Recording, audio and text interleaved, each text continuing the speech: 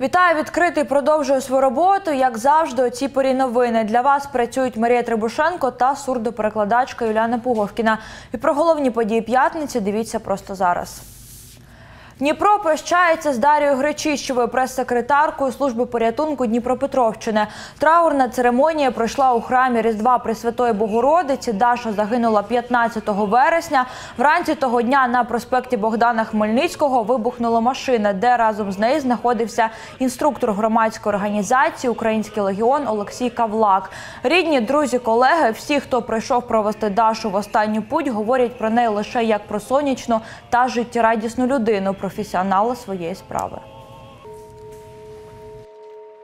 Казати про е, Дар'ю зараз в минулому часі, бо е, це треба часу прийняти. В понеділок у нас повинен бути е, сумісний захід, прес-конференція, але важко повірити, що ми там вже не зустрінемось і взагалі не буде можливості побачити цього сяючого обличчя, цієї світлої вона була. Живчиком, я так їй скажу, це такий джерело енергії. То жодного дня без нової їди. Завдяки їй наша служба ну, піднялася я рахую, до таких висот і в нас в регіоні, та й в цілому по Україні. І той високий відсоток е, довіри, який зараз бережає громадяни нашій службі, ці дні є і її заслуга. Служба безпеки України за фактом вибуху, в результаті якого загинули Дар'я Гречичева та Олексій Кавлак, відкрила кримінальне провадження за статтею терористичний акт. І зараз представники СБУ звертаються по допомогу до свідків трагедії. Цитую всім, кому відома будь-яка інформація, що може допомогти правоохоронцям у розкритті цього злочину. Хто перебував поряд з місцем подій в момент вибуху, зафільмував або помітив будь-яких підозрілих осіб до моменту вибуху. Звертайтеся за телефоном спеціальної гарячої лінії 056 744 85 19. Кожному, хто надасть свідчення СБУ, гарантує конфіденційність та безпеку.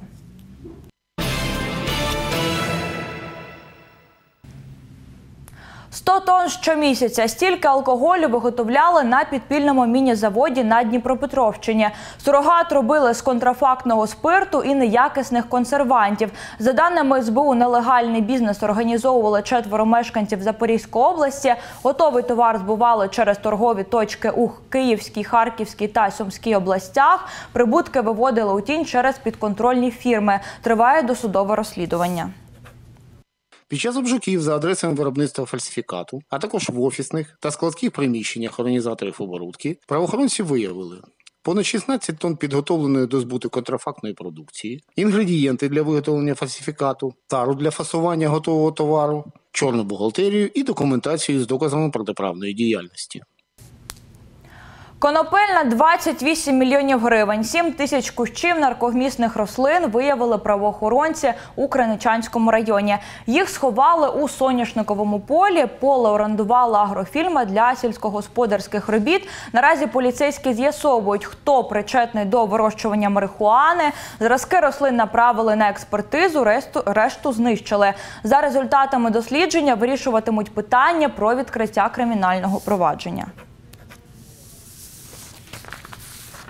У Павлограді пройшло виїзне засідання координаційної ради з протидії поширенню наркоманії серед неповнолітніх у Дніпропетровській області. Це третя нарада після Нікополя та Новомосковська, де піднімаються питання об'єднання всіх структур для спільної боротьби проти наркоманії серед підлітків.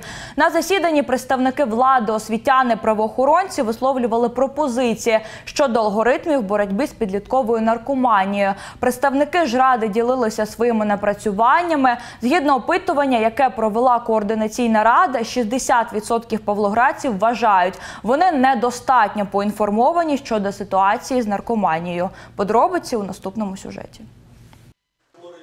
На порядку денному третього виїзного засідання координаційної ради ситуація з наркоманією в Павлограді. Проблема дитячої залежності від хімічних речовин тут актуальна, зазначають медики. Здесь больше бытует, такое да, бытовая наркомания. Это конопля, сигареты, которые сегодня курят. Это сегодня амфетамины, которые делают частные лаборатории подпольные. Это сегодня сп- спайсы, это сегодня соли, это сегодня нацвай, который там и появляется и так далее и тому подобное. То есть все равно, так или иначе, наркобизнес вообще не дремлет. Найголовніше зараз, кажуть представники координаційної ради, об'єднати зусилля освітян, медиків, правоохоронців та місцевої влади у боротьбі з наркотиками на Дніпропетровщині. У Павлограді поки працюють незлагоджено. Освітян обмежує те, що вони без дозволу батьків не мають права проводити роз'яснювальні роботи у школах. Цим займається ювенальна поліція. Проте консолідація вчителів та правоохоронців слабка. Відповідний і результат. Павлоградська поліція працює самостійно. Моніториться ситуація е, е, сім'ї, які зловживають наркотичними речовинами. Є і в них діти. Приймаються заходи щодо е, відношення батьків, щоб діти не бачили наркоманію у себе, у вдома. Якщо виявляється дитина в наркотичному сп'янінні, вона доставляється до наркодиспансера, де проводиться свідництво, а в подальшому вже приймаються заходи відповідного характеру. За словами керівника координаційної ради, мета одна перемогти наркоманію у Дніпропетровській області. А це можна зробити, зазначає Михайло Кошляк, ще й даючи згубним звичкам дітей альтернативу. Для детворы нужно предоставлять какую-то альтернативу. Это внеклассные уроки, внеклассные занятия. Это может быть как спорт, как э, музыка, как танцы, как рисование. Любое, что может заинтересовать ребенка после школы. Погоджується з цим і місцева влада. У Павлоградському районі працює низка позашкільних навчальних закладів. Зокрема, у трьох мистецьких школах Павлограда займається тисяча дітей, а це майже п'ята частина неповнолітніх. Чим краще будуть зайняті школярі, тим більше буде шансів побороти наркоманію, пояснює голова Павлоградської райради. Кожній школі створені свої шкільні ради, які продуцюють саме активність молоді в напрямку реалізації тих чи інших проєктів, екологія, дозвілля і таке інше. Тому що одним з важливих основних завдань в протидії наркоманії є саме наповнити дозвілля молодої людини цікавими заходами, захопленням На виїзному засіданні в Павлограді координаційна рада з протидії поширенню наркоманії серед неповнолітніх проінструктувала кожен структурний підрозділ та розробила алгоритм дій у випадку виявлення дитини в наркотичному сп'янінні. Лада Донець, Олександр Вернегоров, Open News, телеканал відкритий.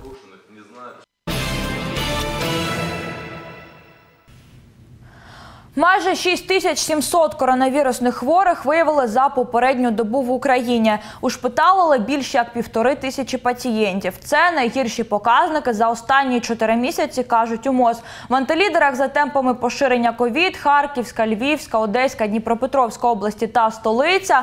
В нашому регіоні за добу діагностували 426 нових недужих на корону. За даними обласного департаменту охорони здоров'я, найбільше інфікованих у Дніпрі, Кривому Розі та Марганці. Ще 26 нових швидких отримала Кам'янська станція екстреної медичної допомоги. Авто із сучасним обладнанням. У салоні система подачі кисню, апарати штучної вентиляції легень, дефібрилятори та електрокардіографи. А ще пульсоксиметри, інфузомати, вакуумні шини і ноші. Станція меддопомоги обслуговує мешканців Кам'янського, Вільногірська та Кам'янського району. Медики виїжджають на виклики понад 200 разів на добу. индивидуальный, то бишь эти машины оборудованы. Здесь можно в- прям при- в движении делать э, реанимационные мероприятия. Там аж мы всему обучены, мы проходим курсы, мы все умеем. Но там не было условий для нормального оказания скорой медицин, экстренной не- медицинской помощи. 26 автівок, е, сучасні, фран- сучасні французькі Citroën Jumper, які витривалі, економічні, надійні, які дозволять допомагати найтяжчим хворим. Задля безпеки пішоходів у Дніпрі продовжують встановлювати нові зупинкові комплекси. Вони оснащені огороджувальними стовпчиками, тактильною плиткою та мають урни відбійники. У день міста така укомплектована зупинка з'явилася на проспекті Героїв. Наразі робота кипить на житломасиві Тополя 1 До кінця року у Дніпрі зведуть ще вісім таких сучасних зупинок. Бачив їх наш В'ячеслав Куліш. Житловий масив Тополя 1, вулиця Запорізьке шосе. Там у розпалі облаштування транспортної зупинки підрядники заливають бетон, кладуть плитку і монтують кріплення даху. Для спеціалістів це не складно. Кожен чоловік має займатися своїм ділом. Будівельники, які працюють на об'єкті, кажуть, роблять на совість. Качество. Саме головне качество. А качество в будь-якій роботі надо. Реконструкції передувала підготовка. На це пішло кілька днів. Эта остановка и подготавливалась три дня, потому что были старые бетонные основания, и очень трудно было с ними бороться. Потом как бы что, выкапывается под закладную, закладывается закладная по высотам, отбивается, отстреливается, заливается бетоном, бетон застывает, планируется все под плитку. На демонтаж, закладку фундаменту та благоустрій зупиночного комплексу знадобиться майже тиждень, акцентують спеціалісти. Изначально на всех адресах мы делаем демонтажные работы, потом заливаем фундаментную плиту, на которую в дальнейшем крепится остановка. После проводятся работы по благоустройству, э, крепим сам навес и убираем после себя мусор. Зупинку встановлюють на прохання місцевих мешканців. При зведенні враховують і потреби маломобільних груп населення. передбачає і е, плитку для людей з е, поганим зором. Також це стовпчики, які захищають, також урні, які являються урною відбійником, тобто також захищають людей від того транспорту, який може не туди поїхати. Місцеві новій зупинці радіють. Кажуть, тепер під час очікування транспорту буде де присісти та сховатися від дощу. Тоді була розвалюха, е, е, ніде не посидіти, не сховатися.